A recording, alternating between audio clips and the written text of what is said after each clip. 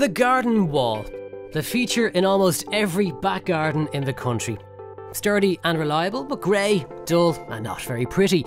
Many people will paint their walls, especially around decking at the rear of the house, but the long winters take their toll, and repainting the walls every spring can be a bit of a pain. But wouldn't it be nice if there was a way to make a dull grey wall beautiful without having to rebuild it or touch it up every year? Celuplast has the solution.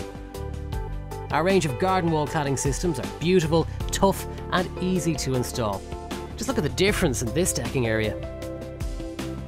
Manufactured from strong PVC and finished to look like natural minerals, our garden wall cladding comes with a full manufacturer's guarantee, is maintenance free, and is easy to clean. Perfect for DIY makeovers, our system can be installed in one of two ways using battens as seen here, or directly onto the wall itself as seen here. In both cases, the panels are installed with a minimal amount of common household tools. Using battens is generally recommended if the wall has pronounced curves or is very uneven, or if you want to avoid a cable, as is the case here. First, mount the battens to the wall about 400mm apart and make sure you put a batten at the very end of the area to be panelled.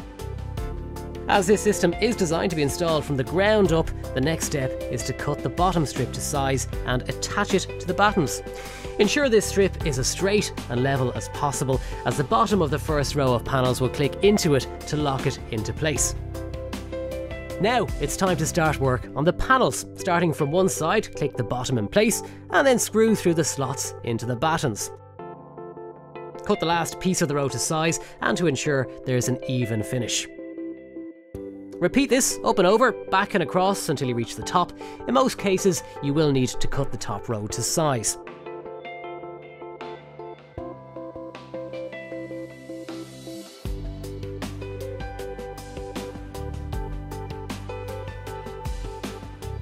We have a range of finishing trims and materials to accompany this product, and they should be measured, cut, and fixed in place. On the second wall, in this decking area, we have fixed the cladding directly to the wall itself. In this case, use the drill, insert a Rawlplug and screw the panel directly in. If there is a corner in the area, as there is here, always start there, mounting the vertical corner sections first, starting from the bottom as before. Cut your edges and the top to fit, and once it's all nice and even, cut some trim to finish it off. With both walls now complete, just add some sunshine, sit back and enjoy.